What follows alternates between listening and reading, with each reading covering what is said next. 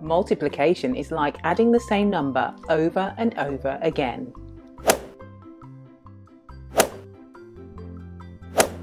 Four plus four plus four is 12, three lots of four are 12, and three times four is 12. Multiplication is like addition, it can be done in any order.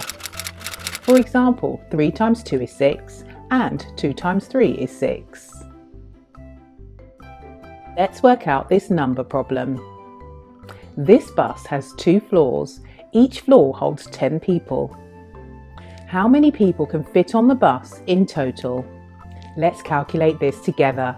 Two floors times 10 people. 2 times 10 or 10 times 2. So the answer is 20.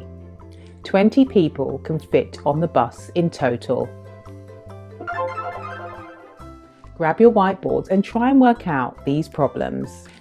The bus has two floors. There are five people on each floor. How many people are there on the bus in total?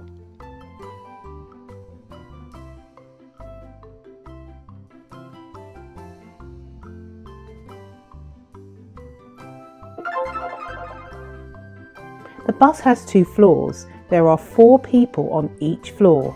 How many people are on the bus in total?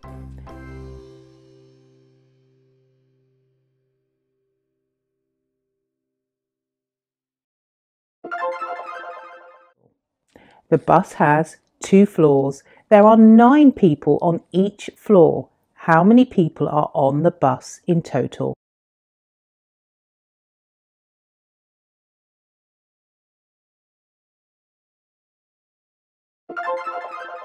Now go over to your class folders and complete the activity.